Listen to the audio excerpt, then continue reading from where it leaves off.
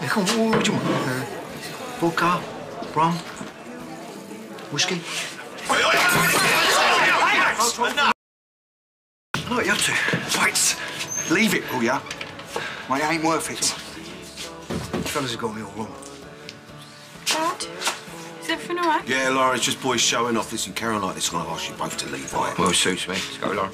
Wait, what about the meeting? All right, it's fine. Whatever you decide. It's fine with me. Let's go.